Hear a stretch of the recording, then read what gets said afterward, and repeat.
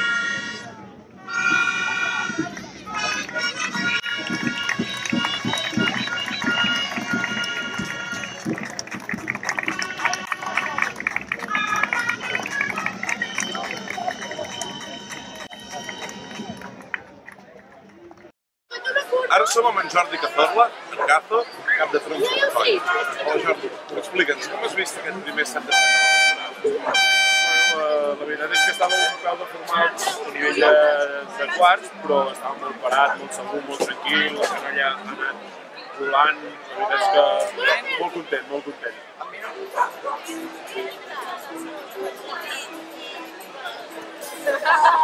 Les 15.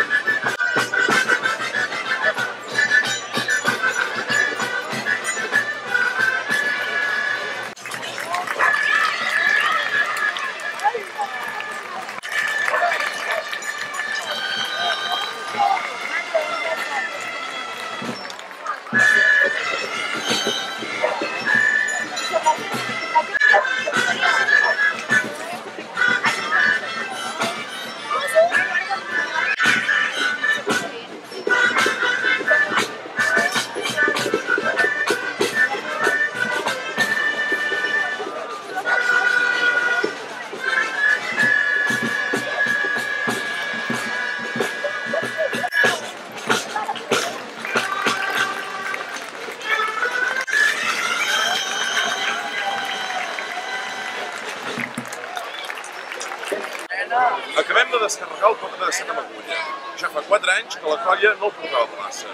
Ara estem amb en Jordi Cerveres, un grup molts amics, que era un dels segons d'aquest 4 de 7 amb agulla.